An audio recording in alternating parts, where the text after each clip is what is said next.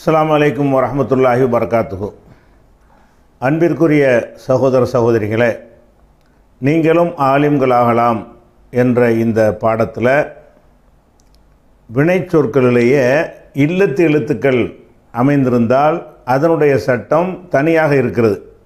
அதை நம்ம பார்த்து வருகிறோம்.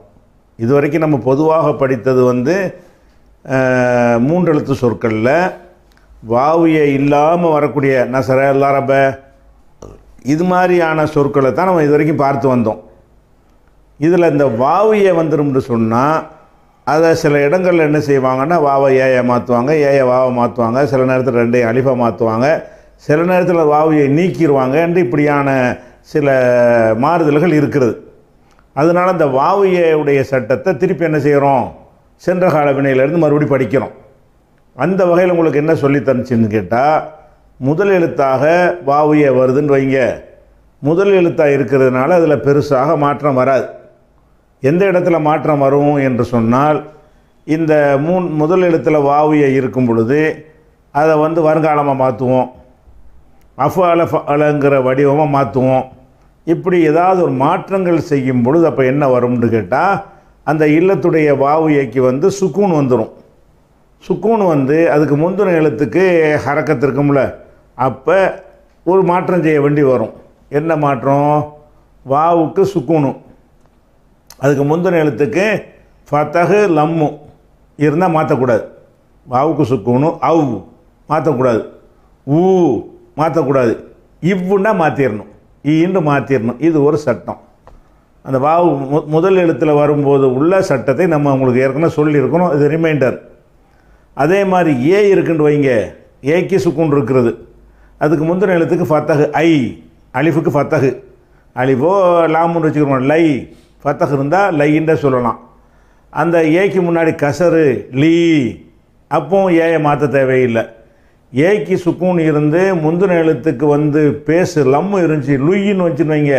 லுயி சொல்லக்கூடாது லூண்டு ஆக்கிடணும் அப்போ வாவுக்கு முன்னாடி கசரு வந்தால் வாவை ஏயை மாற்றணும் ஏக்கு முன்னாடி லம்மு வந்தால் ஏய வாவ மாற்றணும் இந்த ஒரு சட்டம் தான் முதல் எழுத்தாக இல்லத்து வரும்போது இருக்கிறது. வேறு எந்த ஒரு சட்டம் கிடையாது. அதில் வந்து இஃப்த் ஆலேண்டு வரும் பொழுது ஒரு தனி சட்டம் அதற்கு வரும். இவ்வளவு தான் அதில் உள்ள விஷயம். இது போக இந்த வாவு இருக்கிற வினை சொல்லில் வந்து எஃப் இலு என்று வருங்காலம் வந்தால் அப்போ வாவை போய்க்கிடுவாங்க எவ் ஜிதுண்டா எஜிதுன்னு சொல்லுவாங்க. எவ்சினு என்றால் எசினு என்று சொல்வார்கள். எவ்சிலு என்றால் எசிலு என்று சொல்வார்கள். இந்த விஷயத்தை நம்ம பார்த்துட்டோம். வருங்காலத்தில் மாற்றினா ஏவல்லை மாறும் விளக்கல்லை மாறும் படற்கை ஏவல்லை மாறும். அது எல்லாத்தையுமே உங்களுக்கு நடத்தி அதனுடைய பிடிஎஃப் ஃபைலும் உங்களுக்கு அனுப்பியாச்சு. அடுத்து நம்ம என்ன எடுத்துக்கிட்டோம்னு கேட்டால் நடுவில் வாவியே வருது. நடுவுலன்னா ரெண்டாவது எழுத்தில். நசரண்டா சாதுடைய இடத்துல. லரபன்னா அந்த ராவுடைய இடத்துல என்ன வருது? வாவு அல்லது ஏ வருது. இப்படி வந்தால் அதனுடைய சட்டம் என்ன என்றால் சென்ற கால வினைகளை எப்படி வரும்னு கேட்டால் மூணுக்குமே ஃபத்தகு தானே இருக்கும். மூணுக்கு ஃபத்தகு இல்லாட்டாலும் முதல் எழுத்து கண்டிப்பாக ஃபத்தகு இருக்கும். அலிமவில் லாமு கசர் வந்துருச்சு. ஐனுக்கு ஃபத்தகு தான். நசரவுல சாதுக்கு ஃபத்தகு நூனுக்கு ஃபத்தகு முதல் எழுத்துக்கு ஃபத்தகில் தான் இருக்கும். சென்ற கால வினையில் எந்த ஒரு சொல்லாக இருந்தாலும் ஃபஸ்ட்டு எழுத்துக்கு ஃபத்தகு இருக்கும். அப்படி ஃபத்தகு இருக்கிறதுனால இந்த இல்லத்திரை எழுத்துக்கு ஏதாச்சும் ஒரு ஹரக்கத்து தான் இருக்கும். ஃப அல என்று ஃபத்தகு இருக்கும் ஐனுக்கு ஃபைல என்று ஐனுக்கு கசர் இருக்கும் ஃபவுல என்று ஐனுக்கு லம் இருக்கும். இந்த மூணில் ஏதாவது ஒன்று தானே வரும். ஆனால் முந்தின எழுத்துக்கு ஃபத்தகு தான் இருக்கும். ஃபஅலவுலையும் ஃபாவுக்கு ஃபத்தகு தான் ஃபைலவுலையும் ஃபாவுக்கு ஃபத்தகு தான் ஃபவுலவுலையும் ஃபத்தகு தான். இப்படி இருக்கு இருக்கும் பொழுது அப்போ அந்த இல்லத்திரை எழுத்து அலிஃபாக மாற்றிடணும் இல்லத்திரை எழுத்துக்கு ஹரக்கத்து முந்தன் எழுத்துக்கு ஃபத்தகு இப்படி இருந்தால் அந்த இல்லத்தெழுத்து என்ன செய்யணும் அலிஃபா மாற்று அதனால் கவலை என்பது காலாண்டு மாறுது. ஹபிஃபை என்பது ஹாஃப் ஆண்டு மாறுது. பய என்பது பா ஆண்டு மாறுது. ஜயதை என்பது ஜாதாண்டு மாறுது. ஷய என்பது ஷா ஆண்டு மாறுது. இப்படியான உதாரணங்கள்லாம் உங்களுக்கு விளக்கிட்டோம். இப்படி மாறுனா மாறின பிறகு நம்ம சர்வு செஞ்சுட்டு வர்றோம். இப்போ கவலை காலை. கால காலா காலு காலத்து காலத்தா கல்னண்டு தான் வரணும். கால்னண்டு வரும். அதை என்ன செய்யணும்? அந்த ரெண்டு சுக்குனுக்காக அலி பண்ணிக்கிட்டு கல்னண்டு சொல்லணும். ஆனால் என்ன செய்கிறாங்கன்னா இந்த இடத்துல மட்டும் இப்போ பேசின சட்டத்துக்கு மாற்றமாக குள்னங்கிறாங்க சட்டப்படி கல்ன தான். அதான் இப்போ சட்டம்னா நம்ம உண்டாகின சட்டம் இல்லை அவங்க வகுத்த சட்டம். அவங்க சொல்லி கொண்டிருந்த இந்த கால காலா காலு காலத்து காலத்தை வரைக்கும் எந்த சட்டத்தை சொல்கிறார்களோ அந்த சட்டத்தின் பிரகாரம் பார்த்தால் கால்ன என்று சொல்லி கல்னன்னு மாற்றணும் ஆனால் குள்னம்பாங்க ஏன்னு கேட்டால் அந்த வாவு இருந்துச்சுன்னு காட்டுறதுக்கான கவலைன்னு வாவு இருந்துச்சுல. வாவு உள்ள ஒரு சொல்லாக இருந்தால் கவலை கவுள கவலை என்று நடுவில் வாவு இருந்தாலும் கவுளை என்று வ- லம்மு வச்ச வாவு இருந்தாலும் என்ன செய்வாங்க? இந்த இடத்துல ஃபாவை மாற்றி விட்ருவாங்க கல்ன குள்ன இதே மாதிரி எல்லாத்துக்கும் வந்து மாற்றிடுவாங்க தாளவுலேருந்து துள்ன தவுள்னண்டு வந்து த நண்டு வந்து தள்னண்டு தான் வரணும். ஆனால் துள்னன்னு சொல்லிடுவாங்க அதே நேரத்தில் இந்த நடுவில் வாவு இருந்து ஃபைலண்டு மாதிரி வந்துச்சுன்னு வைங்க. ஹவிஃப இதுலேயும் வாவு தான் இருக்கிறது ஆனால் இது ஃபல என்றும் ஃபவுல என்றும் வராமல் ஃபைலண்டு வருது. அப்படி வந்தால் மட்டும் என்ன செய்வாங்கன்னா நேண்டு வருதுல்ல அதை ஹிஃப்னாண்டு மாற்றிடுவாங்க வாவு இருக்கிறனால ஹுஃப்னாண்டு சொல்லாமல் ஹிஃப்னன்னு மாற்றிடுவாங்க அது மாதிரி வருங்காலத்தில் வந்து எல்லாத்துறை எழுத்து நடுவில் ஏ இருக்குன்னு வைங்க. ஏ இருக்கிற எல்லா வினை சொற்கள்லையுமே பா பா பாவு பாத்து பாத்தா பா நண்டு தானே வரணும் பீகனாண்டு தான் சொல்லுவாங்க. இந்த விஷயத்தை உங்களுக்கு ஏற்கனவே நடத்திட்டோம். அப்போ பொதுவான சட்டத்தோட இது சிறப்பு சட்டம். சென்ற கால வினையில் பெண்பால் பன்மையில் இருந்து தன்னிலை பன்மை வரைக்கும் இது ஒரு ஸ்பெஷல் சட்டமாக வச்சுருக்கிறாங்க சென்ற கால வினையில். அதுக்கப்புறம் வந்து ம மஜ்ஹூல் பார்த்தோம். மஜ்ஹூல் பார்த்தோம் என்று சொன்னால் எல்லா மஜ்ஹூலும் ஒரே மாதிரி ஆக்கிடுவாங்க குவிலன்னா கீழே புய என்றால் பி அ ஹுவிஃப என்றால் ஹீஃப ஜயத என்றால் ஜாத ஜீத. இப்படி எல்லாமே என்ன செய்யும்? கீழே இந்த ஸ்டைலில் தான் அதாவது ஃபீல இந்த மாதிரி ஒரு டைப்பில் என்ன செய்வாங்க? மாற்றி கொள்வார்கள் அதையும் நம்ம பார்த்துட்டோம். அதுக்கடுத்தது வருங்கால வினை. வருங்கால வினைக்கு என்ன செய்வாங்க? வருங்கால வினை வந்து எஃப் உழு எஃப் ஆளு எஃப் இழு மூணு தானே வரும். எஃப் உழுன்னு வருது எக்கு உழுன்னு வருதுன்னு வைங்க. இது எஃப் உழு. இது என்ன செய்யணும் என்று கேட்டால் இதுக்கு ஒரு பொது சட்டம் வச்சுருக்கிறாங்க. இல்லத்துறை எழுத்துக்கு வந்து ஹரக்கத்து இருக்குது. இல்லத்து இல்லாத நல்ல எழுத்துக்கு சுக்குன் இருக்கிறது எக்கு குழுவில் காஃபுங்கிறது இல்லத்து இல்லாத எழுத்து. வாவு வந்து இல்லத்தான எழுத்து நோயான எழுத்து. நோயான எழுத்துக்கு ஹரக்கத் இருக்கிறது. நோயற்ற எழுத்துக்கு வந்து சுக்குன் இருந்தால் இந்த ஹரக்கத்தை அங்கே மாற்றி விட்டு அந்த எந்த ஹரக்கத்தை மாற்றுறோமோ அதுக்கு ஏற்ற எழுத்தாக இதை மாற்றிக்கிடுவாங்க ஏ குழுன்னு இருக்கா? ஊத்திக்கு அங்கே போட்டுருவோம். லம்முக்கு ஏற்ற எழுத்து வாவு வாவு தான் இருக்குது கரெக்டாக அப்போ எக்கு உழு என்பதை எக்கூழு என்று சொல்வார்கள். எபு ஈவு என்று இருக்கிறது. ஈயத்திக்கு அந்த பேக்கி கொடுத்துருவாங்க. கொடுத்துட்டு ஏக்கி கசரை கொடுத்துருவாங்க. அந்த கசருக்கு ஏற்ற எழுத்து வந்து ஏ. எபி ஊ அப்படி மாற்றிடுவாங்க எஹு வஃபுன்னு இருக்குன்னு வைங்க. எஹு வஃபுல வந்து வாவு இருந்தாலும் வாவில் உள்ள ஹரக்கத்து என்ன ஹரக்கத்து? ஃபத்தகு ஃபத்தக கொண்டே எங்கே மாற்றுறாங்க ஹைக்கு. அப்போ ஃபத்தகுக்கு ஏற்ற எழுத்து எது? அலிஃபு. எஹாஃபு. அப்போ ஒரு இடத்துல உள்ள இல்லத்தெழுத்துடைய ஹரக்கத்தை முந்தினதுக்கு டிரான்ஸ்ஃபர் பண்ணுவார்களே ஆனால் அந்த ஹரக்கத்துக்கு ஏற்ற எழுத்துன்னு ஒன்று வச்சுருக்கிறாங்க. எப்படி வச்சுருக்கிறாங்க? ஃபத்தகுக்கு ஏற்ற எழுத்து அலிஃபு லம்முக்கு ஏற்ற எழுத்து வாவு கசருக்கு ஏற்ற எழுத்து ஏன்று ஒரு பொதுவான விதி வச்சுருக்கிறாங்க. அந்த அடிப்படையில் இங்கேருந்து ஃபத்தக மாற்றினீங்கன்னா அந்த எழுத்து வாவாக இருந்தாலும் ஏயா இருந்தாலும் அலிஃபா மாற்றி விட்ருங்க இங்கேருந்து லம்ம மாற்றினீங்கன்னு சொன்னால் அந்த எழுத்தை ல லம்முக்குரிய எழுத்து வாவு. வாவு இருந்தால் வாவு வைங்க ஏயா இருந்தால் வாவு மாற்றிக்கிறங்க அப்போ வந்து எந்த ஹரக்கத்தை மாற்றுகிறோமோ அந்த ஹரக்கத்துக்கு ஏற்ப மாற்றி விடுவார்கள் என்பதை நம்ம பார்த்துட்டோம். எக்கு எக்கு ஊழு என்பதை எக்கூலு என்று சொல்வார்கள். எஹு வஃபு என்பதை எஹாஃபு என்று சொல்வார்கள். இது பொது ரூலில் வந்துடுது சிறப்பு சட்டம் இல்லை. இது மாதிரி எல்லா எல்லா லாம் கடைசி எழுத்தில் இழுத்து வந்தாலும் இந்த இந்த மாதிரி வந்தால் இதே சட்டம்தான். அடுத்து என்னென்னு கேட்டால் இப்போ எக்கூலு என்று ஆக்கிட்டோம்ல. இதுக்கு பிறகு வருங்கால வினையிலிருந்து தான் பல வினை சொற்களை உருவாக்குறோம். ஏவல் எதுலேருந்து உண்டாக்குவோம்? வருங்கால வினையிலிருந்து. விளக்கல் எதுலேருந்து உருவாக்குவோம்? வருங்கால வினையிலிருந்து. அப்போ இந்த ஏவலில் வி- வினை சொல்ல என்ன மாற்றம் வருது? அப்படி வைத்து கொண்டு எக்கூலுன்னு இருக்குது. எக்கூலூரில் இருந்து படற்கை ஏவல் வினை எழு எடுக்க வேண்டியிருக்கு. லீ சேர்க்கணும் லீய கூல் என்று சொல்லி இப்போ வாவை போக்கிடணும் எதனால் போக்கணும் ரெண்டு சுக்குன் லிய கூல்னு வருதுல்ல லிய குல் லிய கூலா லிய கூலு லி தக்குள் லி தக்கூலா லிய குல்னு இதையும் நம்ம ஏற்கனவே பார்த்தது தான் பார்த்ததுனால சுருக்க சுருக்கமாக சொல்கிறோம் அதே மாதிரி வந்து முன்னிலை ஏவல் சொல்கிறோம் தக்கூலுன்னு இருக்குது. தே எடுத்துருவோம். கூல் என்று வரும். ரெண்டு சுக்குணும் குல்னு தான் சொல்லணும். குல் அதுக்கப்புறம் வாவை கொண்டு வந்தணும் கூலா ரெண்டு சுக்குன்னு வரல. கூலு கூலி கூலா கூல்னு ரெண்டு சுக்குணும் குல்ன குல் கூலா கூழு கூலி கூலா குல்ன ஹீஃபு ஹீஃபா ஹீஃபு ஹீஃபி ஹீஃபா ஹீஃபுன இப்படி என்ன செய்வாங்க? முன்னிலை ஏவல் விளக்கல் விளக்கல் என்ன செய்யணும் லாவை சேர்த்து சுக்குன்னு செய்யணும். லாய குல் லாய கூழ் என்று வரும். அப்படி சொல்லாமல் லாயக்குள் லாயக்கூலா லாயக்கூலு லாத்தக்குள் லாத்தக்குலா லாயக்குள்ன லாத்தக்குள் லாத்தக்குலா லாத்தக்குழு லாத்தக்குழி லாத்தக்குலா லாத்தக்குள்ன அவ்வளோதான் விளக்கல் இது வரைக்கும் இது வரைக்கும் பார்த்துட்டோம். இப்போ வந்து என்ன பார்க்க போகிறோம்னு கேட்டால் இந்த நடுவில் இல்லத்து வருதுல அந்த சொல்லை வந்து வினை சொல்ல ஆக்குறோம். வி- வருங்காலம் ஆக்குறோம். இந்த வருங்காலத்தில் வந்து லம் லன் இதை சேர்த்து ஒரு பாடம் படிச்சிருக்கிறோம். என்சுர் என்பதில் ஒரு லம் சேர்ப்போம். அது வந்து அர்த்தத்தை மாற்றி விட்ரும் சென்ற காலமாக மாற்றிடும் நசரண்டா உதவி செஞ்சான். என்சுர் உதவி செய்வான். லம் என்சுரு உதவி செய்ய மாட்டான்னு வராது. உதவி செய்யவில்லைன்னு சென்ற காலத்துக்கு போயிடும் இதுக்காக லம் என்பதை சேர்ப்பாங்க. அர்த்தத்தையும் மாற்றிடும் வார்த்தையில் என்ன செய்யும்னா கடைசிக்கு சுக்குன் வச்சு விட்ரும் என் சுருன்னு இருக்குல்ல. என் சுரு என்பது லம் சேர்த்தா அப்படி சொல்லுவோம்? லம் என் சுர் சொல்லிடுவோம் அப்போ இந்த சொல்லில் லம் சேர்த்தா எப்படி வரேன் அதுக்கு இந்த டிஸ்பிளேயில் பாருங்கள் இதில் லம் சேர்க்குறோம். எப்படி சேர்க்குறோம்? இப்போ லம் எ கூல்னு வருது பாருங்க. இந்த லம் என்பதை சேர்க்குறோம். எதில் சேர்க்குறோம்? எ சேர்க்குறோம். சேர்க்கும் பொழுது இந்த லம் வந்ததுக்காக நம்ம என்ன செய்யணும் இந்த லாமுக்கு சுக்குன் செஞ்சிடணும்.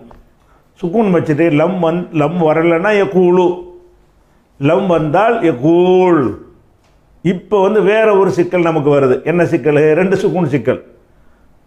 எக்குள்னு மாற்றிட்டோம் மாற்றின பிறகு பார்த்தோம்னு சொன்னால் அந்த வாவுலையும் சுக்குன் இருக்கிறது. லாமுலையும் சுக்குன் இருக்கிறது. இப்போ ரெண்டு சுக்குன் வரும்போது என்ன செய்யணும்னா இல்லத்திரை எழுத்தை காலி பண்ணிட வேண்டியதுதான். அப்போ லம் கூழ் என்று சொல்லி லம் குல் லம் கூழ் என்பது அதனுடைய அசல் வடிவம். இரு சுக்குன்கள் வருகிற காரணத்தினால் லம் குல் அவ்வளோதான் அப்படி சொல்லிடுவோம். அதனுடைய இருமை சொல்லுகிறோம். இந்த இருமையில் சொல்லும்போது சுக்குன் வைக்கிற பிரச்சனை வராது.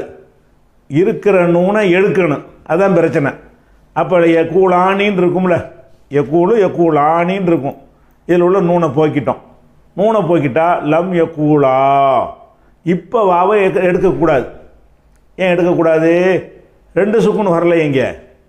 இங்கே வாவை எடுக்கிறோம். லம் கூழ் இங்கே எடுக்கிறோம். ரெண்டு வாவை எடுத்துக்கிறோம் என்ன கேட்டால் லாமுக்கு சுக்கணும் வாவுக்கு சுக்கணும்.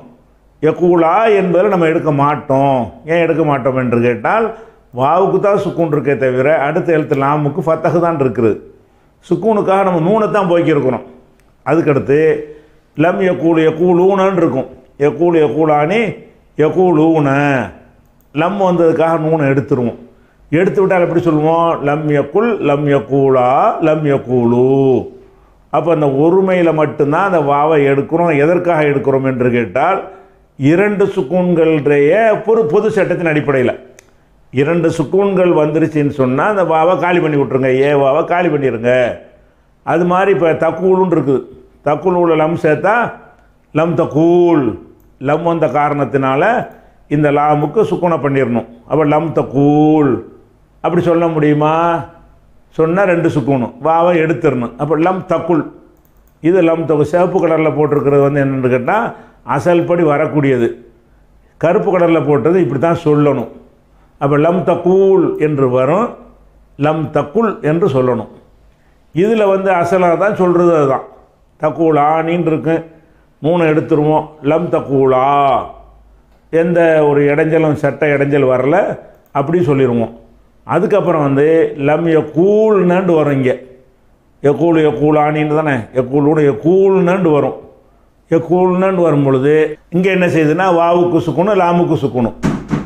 எக்கூல்னு வருதுல்ல அதனால் என்ன செய்யணும் வாவை எடுத்துட்டோம்னா எக்குள்ன அப்போ லம் எக்குள்ன லம் எக்கூழ்ன என்று சொல்லாமல் லம் எக்குள்ன இந்த இடத்துலையும் மாற்றுறோம் ஒன்று ரெண்டு மூணு இடத்துல மாற்றிட்டோம் அதுக்கப்புறம் முன்னிலைக்கு வர்றோம். லம் தகூல் லம் தகுல் ரெண்டு சுக்குனுக்காக வேண்டி. லம் தகூலா ஒரு சிக்கலுமே இல்லை. லம் தகூலு அப்படின்னு சொல்லிட வேண்டியதுதான். லம் தகூலி. தகூலின்னு இருக்கும் நூனை எடுத்துருவோம். லம் தகூலி. வாவை போக்க தேவையில்லை. லம் தகூலா போக்க தேவையில்லை. லம் தகூல்ன. இங்கே போக்கணும். கூல்ன ரெண்டு சுக்கணும் வருதுல வரும்போது லம் தக்குள்ன லம் தக்குள்ன மொத்தத்தில் இந்த இடத்துல என்ன வந்திருக்கு? ஒன்று ரெண்டு மூணு. படற்கையில் மூணு இடத்துல வாவை எடுக்க வேண்டி வருது. முன்னிலையில் ரெண்டு இடத்துல வாவை எடுக்க வேண்டி வருது. எதனால் எடுக்க வேண்டி வருகிறது? அங்கே எல்லாம் இரண்டு சுக்கூன்கள் வந்து விடுகிறது. அதனால். அதுக்கப்புறம் லம் அக்கூல் இதுலையும் எடுக்கிறோம். லம் லம்மா கூல் நம்ம அசல் படி லம்மா கூழ் என்று வரும். லம்மா கூல்னு சொல்லலாமா? சொல்லக்கூடாது. ஏன்? வாவு வாவுக்கு சுக்குன் வந்துட்டதுனால லம்மா கூல்னு சொன்னோம்னா என்ன ஆயிரும்? ரெண்டு சுக்குன் ஆயிரும். அப்போ வாவை எடுத்துட்டு லம் அக்குல் இது லம் நக்கூல் என்று வரும். அப்படி சொல்லாமல் என்ன செய்யணும்? லம் நக்கூல்னு சொல்லாமல் ந- லம் நக்குள் என்று சொல்லணும். அப்போ இது லம் வரும்போது எ- எல்லா சொற்கள்லையுமே ரெண்டு சுக்கூன் வர்ற நிலை வரும். இதில் மட்டும் வராது. ஏ எஹாஃப்னு வச்சுக்கிறங்க எஹாஃப்னு வச்சுக்கிட்டு சொன்னீங்கன்னு சொன்னால் இந்த இந்த பர் மூணையுமே சொல்லி காட்டுறேன். ஏ உள்ளதுக்கு. லம் எபி பா எபீவு லம் சேர்த்தா லம் எபின்னு வரும். ஏக்கு ஒரு சுக்கணும் ஐனுக்கு ஒரு சுக்கணும் இப்போ ஏ எடுத்துடணும். லம் எபி அங்கே தான் எடுக்கணும். லம் எபி ஆ இங்கே எடுக்கக்கூடாது. ஏன் ரெண்டு சுக்குன்னு வரல? வேறு எந்த இடைஞ்சலும் வரல. லம் எபி ஊ இதெல்லாம் எடுக்கலை. இங்கே எடுத்துருவோம். லம் தபி ரெண்டு வருது. இப்போ ஏக்கு ஒரு சுக்குனு ஐனுக்கு ஒரு சுக்குணும் அதனால் ஏயை போக்கிடணும். லம் தபின்னு சொல்லணும். லம் தபி லம் தபி ஆ லம் எபின்னு வருது. இந்த இடத்துல ஏக்கு ஒரு சுக்குனு ஐனுக்கு ஒரு சுக்குணும் அதனால் ஏ எடுத்துவிட்டு லம் எபின அதாவது இந்த மூணு இடத்துலையும் போக்குவோம். எதனால் போக்கணும்? அந்த மூணு இடத்துன்னு ஞாபகம் வச்சுக்கிட்டாலும் பரவாயில்ல நீங்கள் அதில் ரெண்டு சுக்குன் வந்தால் போக்கணும்னு மனசில் வச்சுக்கிட்டா போதும். இந்த ரெண்டு சுக்குன் வந்த இடத்துல போ இந்த ஆறு சொல்லில் வந்து இந்த ஆறில் இந்த முதல் படற்கையில் உள்ள இந்த ஆறு சொல்லில் மூணு சொற்களில் ரெண்டு சுக்குன் வருகிறது மூணு சொற்களில் ரெண்டு சுக்குன் வரல. ரெண்டு சுக்குன் வர்ற இடத்துலலாம் வாவை போக்கி ஏயை போக்கியிருக்கிறோம். ரெண்டு சுக்குன் வராத இடத்துல அப்படி வச்சுருக்குறோம். இது படர்க்க முன்னிலை எடுத்துக்கிட்டிங்கன்னு சொன்னால் லம் தபீன்னு வரும். ரெண்டு சுக்குனா லம் தபி லம் தபியாவில் ரெண்டு சுக்குன் இல்லை நூனை போக்குனதுனால அதான் ஜ அதான் ச ஜசமு. லம் தபியாவில் பிரச்சனை இல்லை. லம் தபியூவில் பிரச்சனை இல்லை. லம் தபி ஐ அதுலேயும் பிரச்சனை இல்லை. லம் தபி ஆ அதுலேயும் பிரச்சனை இல்லை. லம் தபீன இங்கே பிரச்சனை. அப்போ ரெண்டு சுக்குனு. இந்த இந்த ஆறை எடுத்துக்கிட்டிங்கன்னு சொன்னால் ரெண்டு சொற்களில் இரண்டு சுக்குன் வருகிறது. நாலு சொற்களில் இரண்டு சுக்குன் வரல. அப்போ இரண்டு சுக்குன் வரக்கூடிய அந்த ரெண்டு சொற்களில் மட்டும் ஏயை போக்குங்க. இரண்டு சுக்குன் வராத இடத்துல போக்காதீங்க. அதுக்கப்புறம் வந்து லம் அபீன்னு வரும். இந்த இடத்துல ஏ போட்டு வரும். லம் அபி அசல் எப்படி வரும்? லம் அபீன்னு ஏ வச்சு வரும். ஏ வச்சோம்னா என்னவாகுது? இந்த இடத்துல ஏ போட்டிங்கன்னா ரெண்டு சுக்குன் வருது. லம் அபீன்னு ரெண்டு சுக்குன் வருது. அப்போ என்ன செய்யணும்? ஏ எடுத்துட்டோம்னா லம் அப்படின்னு சொல்லணும். அதே மாதிரி நபி எடுத்துக்கிட்டிங்கன்னா லம் அந்த பேக் அப்புறம் என்ன இருக்குது ஏ போட்டிங்கன்னா லம் நபி என்று வரும். லம் வந்தனால ஜசம் பண்ணுறதுனால அப்போ ரெண்டு சுக்குன்னு வருது அப்போ ஏ எடுத்து விட்றணும் லம் நபி லம் அபி லம் நபி. இது வந்து ஏ வரக்கூடியதுக்கு உதாரணம். அலிஃப் வர்றதுக்கு உதாரணம் ஒன்று பாருங்கள் எக்கூலுவில் வாவு வர்றதுக்கு உதாரணம். எபி உங்களுக்கு காட்டினது வந்து நடுவில் ஏ வர்றதுக்கு உதாரணம். இப்போ காட்டுறது அலிஃபா மாறி வரும்ல எஹா எஹு வஃபு எஹாஃபுன்னு மாறும்ல. அலிஃபுக்கு உதாரணம். இதில் எடுத்து பாருங்கள் எஹாஃபுன்னு இருக்கிறது. எஹாஃபுல லம் சேர்த்தால் லம் எஹாஃப். ஹாஃப்னு வந்தால் ரெண்டு சுக்குன் தானே. இஃப் ஒரு சுக்குனு நீட்டுறதுக்குரிய அலிஃபு ஒரு சுக்குன். அப்போ லம் எஹாஃப் என்று அசல்படி வரும். அதை நம்ம லம் யஹஃப் என்று சொல்லணும். லம் யஹாஃபா. இங்கே அந்த அலிஃபை கொண்டு வந்துடுவோம் ரெண்டு சுக்குன் பிரச்சனை வராது. லம் யஹாஃபு. லம் தஹஃப். லம் தஹாஃப்னு வரும் இந்த அலிஃபை எடுத்துகிட்டு லம் தஹஃப். லம் தஹாஃபா. லம் யஹாஃப்னு வரும். லம் யஹஃப்னு சொல்லணும். அப்போ இந்த படற்கையில் ஆறு சொற்களில் எடுத்துக்கிட்டிங்கன்னா மூணு சொற்களில் வந்து ரெண்டு சுக்குன்னு வருகிறது. மூணு சொற்களில் ரெண்டு சுக்குன் வரல. ரெண்டு சுக்குன் வர்ற இடத்துல நீக்கி விட்டுருக்குறோம். சரியா? அப்புறம் முன்னிலைக்கு வந்தீங்கன்னா லம் தஹாஃப் என்று வரும். ரெண்டு சுக்குனும் லம் தஹஃப் லம் தஹாஃபா லம் தஹாஃபு லம் தஹாஃபி லம் தஹாஃபா லம் தஹாஃபுன. தஹாஃபுனன்னு ரெண்டு சுக்குன் வந்துருச்சு. அப்போ என்ன செய்யணும்? லம் தஹஃபுன நீக்கிடணும். அப்போ இந்த ஆறுலையும் முன்னிலையில் உள்ள ஆறில் வந்து ரெண்டு இடத்துல ரெண்டு சுக்குன் வருகிறது. நாலு சொற்களில் ரெண்டு சுக்குன் வரல. அதனால் இந்த நாலு இடத்துல வந்து போக்கக்கூடாது அந்த ரெண்டு இடத்துலையும் அழிவை போக்கி விட்டுறணும். அதுக்கப்புறம் தன்னிலை. லம் அஹாஃப். அஹாஃப்னு இருக்கும். லம் வந்ததுனால கடைசிக்கு சுக்குன்னு செய்வோம். லம் அஹாஃப். அஹஃப். லம் அஹஃப்னு சொல்லணும். லம் நஹாஃப். லம் நஹஃப். அப்போ இந்த வருங்காலத்துடைய சட்டத்தில் ஸ்பெஷல் சட்டம் இதெல்லாம் லம்மு போட்டு ஒரு பாடம் படித்தோம்ல அதே மாதிரி இந்த சொல்லுக்கு என்ன செய்யணும்னு தெரிஞ்சு வச்சுக்கணும் இல்லையா? அதுக்காக இந்த லம்முங்கிறத போட்டு ஒன்று காட்டியாச்சு. அதுக்கு அடுத்தது இந்த லன் போட்டு வருங்காலத்தில் சேர்ப்போம்ல லன் எதுக்கு போடுவோம்? அதாவது உறுதிப்பட மறுக்கிறது. எழுதிரி பொண்ணு அடிப்பான். லை எழுதிரிப்ப அடிக்கவே மாட்டான். லா எழுதிரி பொண்ணு அடிக்க மாட்டான். ல லை எழுதிரிப்பன்னு சொன்னால் அடிக்கவே மாட்டான். அப்படிங்கிறது இந்த லன்னு வர்றதுக்குரிய அர்த்தம். இந்த லன் வந்துட்டா என்னவாயிரும்னு கேட்டால் கடைசி எழுத்துக்கு ஃபத்தகு செய்யணும் நசபு செய்யணும். எல்ரிபு என்று இருப்பதில் லன் எல்ரிப என் சுரு என்று இருந்தால் லன் என் சுர எஃப்தஹு என்று இருந்தால் லன் எஃப்தஹ. அப்போ கடைசி எழுத்துக்கு என்ன செய்யணும்? ஃபத்தகு செய்யணும். நூன் உள்ள இடங்களில் நூனை எடுத்துடணும். பெண்பால் பன்மையில் நூன் எடுக்கக்கூடாது. இது ஏற்கனவே நீங்கள் படித்த பாடம். அந்த பாடத்தில் இந்த இல்லத்திரு எழுத்துக்கு பாதிப்பு வருமாட்டா வராது. அப்படியே சொல்லிட வேண்டியதான் லன் யக்கூல லன் எல்ரிப மாதிரியே சொல்ல வேண்டிய யக்கூலன் யக்கூலுன்னு சொன்னீங்கல்ல லன்னை போட்டுன்னு ஃபத்தகு பண்ணுறீங்க லன் யக்கூல லம் வந்தால் ஜசமு பண்ணும்போது தான் ரெண்டு சுக்குன்னு வருது. நம்ம தான் லன்னுக்கு ஜசம் பண்ண மாட்டோமே. அப்போ ரெண்டு சுக்குன்னு வராத. அதனால் லன் யக்கூல லன் யக்கூலா லன் எந்த மாற்றமும் இல்லை பாருங்க. லன் தக்கூல லன் தக்கூலா லன் யகுல்ன. லன் தக்கூல லன் தக்கூலா லன் தக்கூலு லன் தக்கூலி லன் தக்கூலா லன் தகுல்ன. லன் அக்கூல லன் நக்கூல அப்போ இல்லத்துறை எழுத்தில் நடுவில் இல்லத்து எழுத்து இருந்து அதனுடைய வருங்கால சொல்லில் லம் சேர்த்திங்கள்னு சொன்னால் இரு சுக்கூன்கள் சந்திக்கக்கூடிய இடம் வந்து மொத்தம் எத்தனை? ஏழு இடத்துல வரும். அதாவது வ- தன்னிலை ஒரு ரெண்டு படற்கையில் ஒரு மூணு முன்னிலையில் ஒரு ரெண்டு. அப்போ ஏழு இடத்துல என்ன வரும்னா இரு சுக்கூன்கள் சந்திக்கிற நிலமை வரும். எப்போ? லம் இருந்தால் தான். லன் இருந்தால் எந்த ஒரு ல யஹாஃபுன்னு இருக்குது. லன் யஹாஃப லன் யஹாஃபா லன் எந்த ஒரு இதாக இருந்தாலும் சரி. வருங்கால வினையில் வந்து இரண்டு சுக்கூன்கள் சந்திக்கிற பிரச்சனை வந்து லன் வரும்போது வராது. அப்போ யக்கூலுன்னா சொல்வான். லன் யக்கூல சொல்லவே மாட்டான். லன் யக்கூலா இருவர் சொல்லவே மாட்டார்கள். அந்த ஒரு அர்த்தத்துக்கு வந்துடும் இது ஒரு விஷயமாச்சா அதுக்காக தான் அந்த ஏ வச்சு உதாரணம் ஒன்று காட்டியிருக்குது. அதே மாதிரி உள்ளது தான் லன் எபியா லன் எபி ஆ லன் எபி ஊ லன் தபியா லன் தபி ஏதாவது மாற்றம் இருக்கா? மாற்றம் இல்லை. அப்படி எப்படி வச்சுருக்குறோம்? அப்படி அப்படியே சொல்லிட்டோம். அதுக்கப்புறம் அலிஃப் உள்ள மாதிரி வச்சு பாருங்கள் லன் யஹாஃப லன் யஹாஃபா லன் யஹாஃபு லன் தஹாஃப லன் தஹாஃபா லன் யஹாஃபுன லன் தஹாஃப லன் தஹாஃபா லன் தஹாஃபு லன் தஹாஃபி லன் தஹாஃபா லன் தஹாஃப்ன லன் அஹாஃப லன் நஹாஃப. லன் நஹாஃப்னா நான் பயப்படவே மாட்டேன். லன் நஹாஃப நாங்கள் பயப்படவே மாட்டோம். இப்படிங்கிற அர்த்தத்துக்கு வந்துடுது மூணுமே இதுக்கு இந்த வாவு அலிஃபியே அதுக்காக மூணு உதாரணம். ஒரே விஷயந்தான் லன்னு போட்டு எக்கூலுள்ள போடும்போது வா உள்ள சொல்லு. எபியூவில் போடும்போது ஏ உள்ள சொல்லு. யகாஃபுல போடும்போது அலிஃப் உள்ள சொல்லு.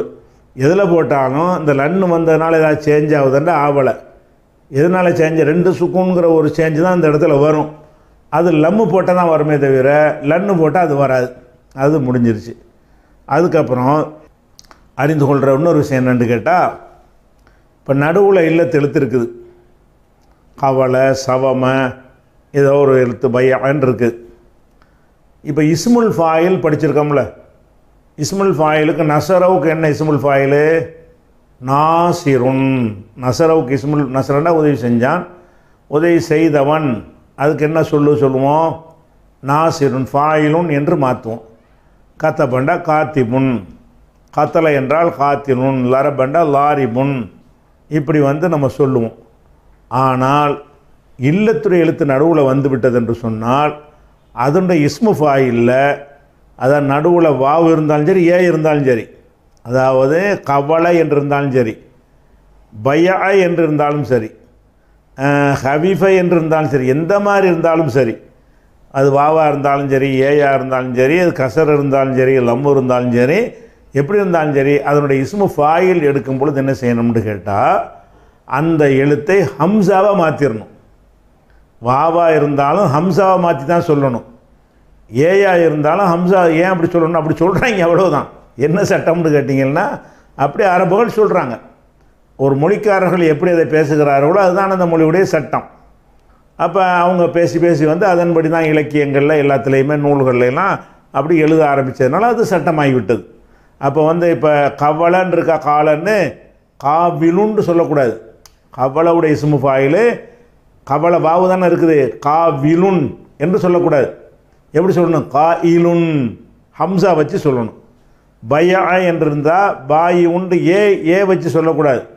ஏ மாதிரி எழுதுவோம். ஒரு மேலே ஒரு ஹம்சா போட்டுக்கிறோம். அது அந்த ஹம்சா உட்கார வைக்கிறதுக்காக ஒரு ஏ எழுதுவோம்ல. அப்படி எழுதிக்கிறோமே தவிர அந்த நடுவில் உள்ள எழுத்து இசுமுல் ஃபாயிலில் வந்து என்ன செஞ்சேன்? ஹம்சாவாக மாறிக்கிறோம். எந்த சொல்லாக இருந்தால் ஹவிஃபன் இருக்குது.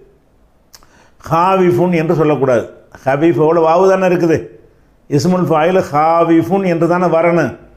அது என்னமோ தெரியல அப்படி சொல்லாமல் என்ன செய்கிறாங்க ஹா இஃபுன் ஹா விஃபுன் என்று சொல்லாமல் ஹா இஃபுன் என்று சொல்கிறார்கள். அப்போ ஹாயிஃபுல மாற்றின மாதிரி ஆறுலையும் மாறிக்கணும். எப்படி அது? உதாரணமாக இஸ்முல் ஃபாயிலு கா இலுன் கா இல் ஆனி எல்லாத்துலேயும் ஹம்சா போட்டிருக்கு பாருங்கள் இந்த ஏ மாதிரி எழுதி எழுதிருக்கு எழுதுனால அந்த ஹம்சாவை மட்டும் தனியாக எழுதாமல் அந்த ஏக்கு மேலே உட்கார வைப்பாங்கள்ல அந்த மாதிரி அடிப்படையில் எழுதியிருக்குது. கா இலுன் அசல்படி கா விலுன் ஆனால் அப்படி சொல்லக்கூடாது. கா விலானி தான் ஆனால் அப்படி சொல்லக்கூடாது. கா இலானி கா இலூன கா இலத்துன் கா இலத்தானி கா இலாத்துன் அப்போ கவலை என்ற மூளைச்சொல் அசல் கவலன்னு வாவு இருக்கிறது. இஸ்மல் ஃபாயில் வந்து காவிரும் என்று வரணும் ஆனால் வராது. எந்த வாவு இருந்தாலும் ஏ இருந்தாலும் அந்த ஹம்சாவை தான் மாற்றிக்கிறணும் இஸ்முல் ஃபாயில் மட்டும் மனசில் இது சிறப்பு சட்டத்தில் உள்ளது. என்னது? இது எதனால் மாற்றுறீங்கன்னா அந்த இல்லத்துடைய எந்த ஒரு ரூலுமே இதில் வரல. இந்த இஸ்முல் ஃபாயிலுக்கு மாற்றணும் வச்சுக்கிறாங்க. வச்சு நம்ம சிறப்பு சட்டம்னு எடுத்துக்கிட்டு என்ன செய்யணும்? நம்ம அதை எடுத்துக்கிற வேண்டியதான் இப்படி தான் மாற்றணும்னு அது மாதிரி பையான் இருக்குது. பாய் உண்டு ஏ புள்ளி வச்சு ஏ ரெண்டு புள்ளி வச்சு ஏ போட்டு எழுதணும்ல. அப்படி எழுதலை பாருங்கள் பாய் உன் ஏ வடிவம் சும்மா போட்டிருக்கிறோம் அடையாளத்துக்காக வேண்டி. மேலே உள்ள ஹம்சா தான் கணக்கு. பா இவுன் பாய் ஆணி பாய் ஊனன்னு சொல்லி அதை ஹம்சாவாக தான் எழுதணும். அதே மாதிரி ஹபீஃபை அசலில் சொல்கிறதா இருந்தால் ஹாபிஃபுன். ஹபீஃபோட இஸ்மு ஃபாயில் சொல்வதாக இருந்தால் ஹா விஃபுன் என்று சொல்லணும்.